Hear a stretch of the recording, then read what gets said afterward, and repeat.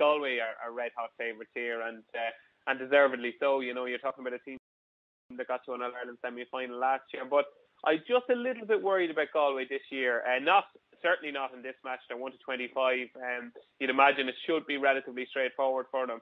But I just thought throughout their league campaign, they were trying to chop, uh, chop and change different players into different positions. They were obviously without Damien Comer and remain without Damien Comer, who was a big, big loss.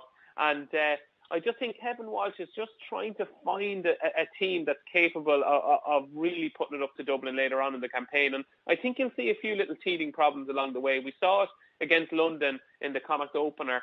You know, for, for long periods of that game, uh, Galway Galway were scratching their heads a little bit. They struggled to break down a London side that, that played pretty defensively. Um, I think class will win out here in the end. I think Galway will prevail. But I expect it to be a little bit tighter than the betting suggests. I think Sligo plus 11 um, on the handicap market is probably a good bet. And, and I think Galway are going to struggle to reach 23.5 points. I think Sligo can keep the scoring down. I think maybe, you know, 210, 16 points, around 16 or 17 points, I think could be good enough to win this game quite convincingly for Galway. So under 23.5 Galway points and, and Sligo plus 11 on the handicap would be my two uh, favourite bets on the coupon.